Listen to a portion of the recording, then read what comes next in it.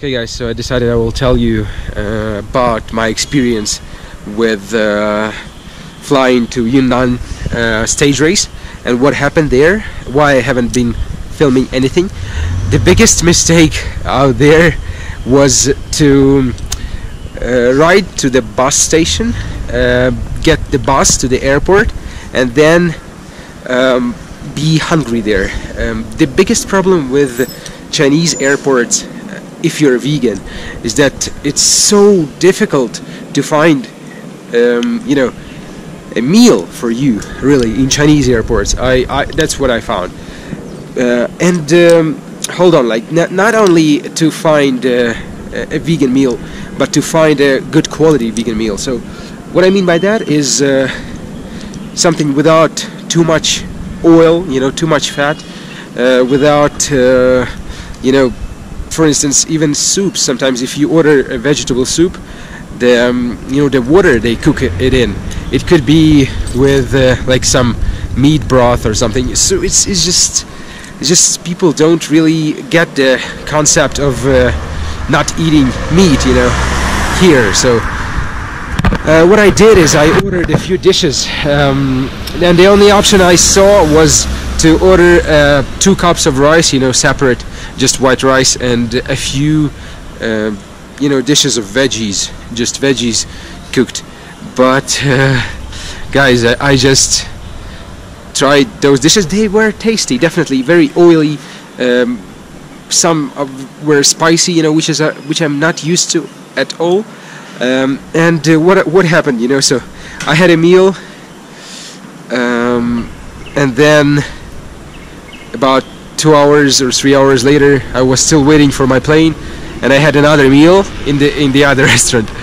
And actually another restaurant I went to before that uh, I ordered uh, a soybean sauce or something you know with uh, noodles you know it was that's what it said on the on the menu you know but then they gave me the pretty much pasta bolognese you know like with uh, soybean sauce uh, with lots of beef I was like uh, yeah, I paid for it, but I didn't eat anything, and I just went to another restaurant.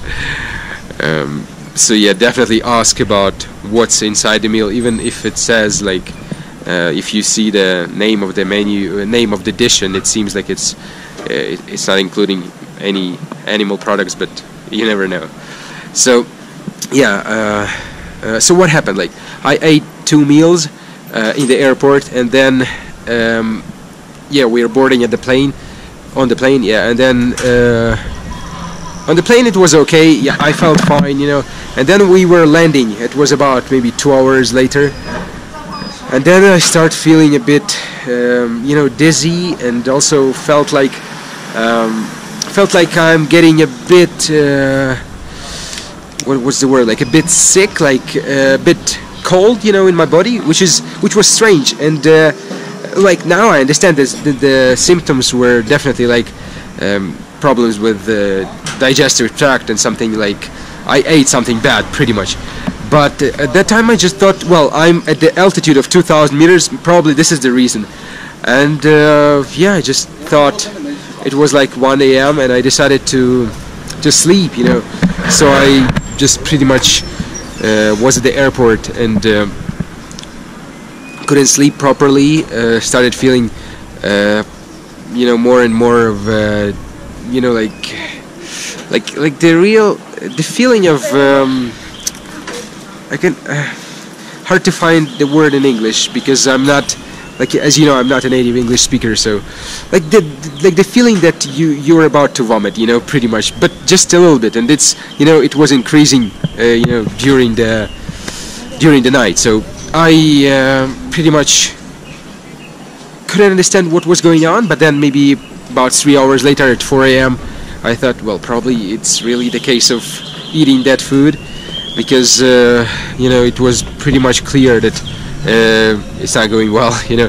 So I just decided um, to try and uh, to try and wait pretty much because I was just thinking, well, if I had a few, you know, cooked veggies and uh, rice and stuff you know I couldn't you know like uh, it couldn't affect my body that bad you know because uh, usually you cannot um, uh, you won't feel that that's really terrible if you don't eat any animal products and stuff because it's very easy to to poison yourself with some uh, you know like you know animal food.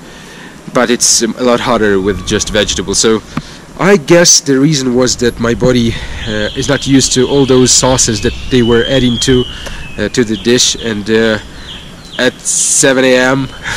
I pretty much rushed uh, rushed to the toilet and uh, started uh, vomiting you know and uh, tried to do it a bit more um, carefully you know so people in the restrooms couldn't hear but then I felt much better about half an hour later and then I boarded to my then I went to the bus pretty much to the center of the city you know and then to to my hotel. So like the bus trip is like 50 minutes I guess. And uh, what I felt was in the bus. As, as soon as we started moving I felt like I'm about to vomit again. And I was like damn man. And I know that if you want to avoid it you can you, you can pretty much start breathing you know deeply like this. And um, it will definitely help to to calm down this feeling you know. So it, worked. Uh, about 15 minutes again uh, later again I started feeling a huge terrible uh, feeling. I wanted to vomit you know again and uh, about five minutes before we arrived I pretty much um, I was sitting uh, last maybe because bus was pretty much empty. But then I went to the last uh, seat you know and it, and and uh, pretty much was expecting the worst. And it happened really. Um, so like I just felt like it's impossible to hold hold it you know anymore. And uh, I just vomited on the on the ground. Uh, and um, so why I went to the last seat you know so then I can change the seat and um, you know the it won't be obvious that it was me you know. Uh, but then after we arrived it was actually like two minutes uh, yeah uh, before we arrived. And then uh, we arrived I rushed to the to my bike box and just went uh, from, from there. Oh it's just so embarrassing but you know I just couldn't um, I couldn't even explain myself because people don't speak English and it would be probably you know a bit a bit I don't know like uh, it, it would be a bit uh, a bit terrible to try to explain myself to the driver and probably he would be very mad and stuff. So yeah uh, I'm, I'm a bit embarrassed with this but it was nothing I could do really. Um, so the yeah don't eat at, uh, Chinese airports. Like you can I think you can eat but there is really limited uh, limited possibility to find good food. I would uh, rather prefer buying anything in the local stores maybe something you you're really familiar with even though it might not be the the best food maybe like a bit of a junk like um, cookies like Oreos and stuff. Maybe some yeah something like soy milk you know some some cookies some bread maybe um, like just read the ingredients if you can. Uh, but yeah something you're really familiar with. It's it's a big mistake to try and order something out there in the restaurants. And uh, yeah. And I went to two different restaurants you know it's just impossible to control. Uh, and it can it can actually freak you out very badly because the next day I felt like like just you know I was about to to I don't know uh, to give up the racing because it was the day before the race.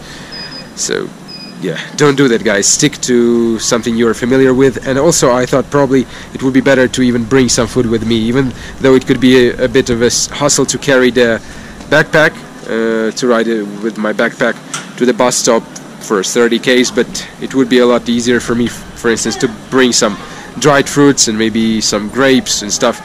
So definitely huge mistake. So it's it's the it's my you know it's my take on it like my experience what I what I learned. So definitely if you have some important um, event you know or like I mean for me it's cycling related don't uh, don't fuck it up with a mistake like you know eating something you're completely unknown what's inside you know and then just feeling like terrible you know just stick to something you're familiar with so this is the biggest biggest um, lesson and my take on it so yeah, I'm about to go buy some food and uh, go back to my hotel and enjoy it after a pretty nice and hard day of riding. So, yeah, tomorrow is the UC stage.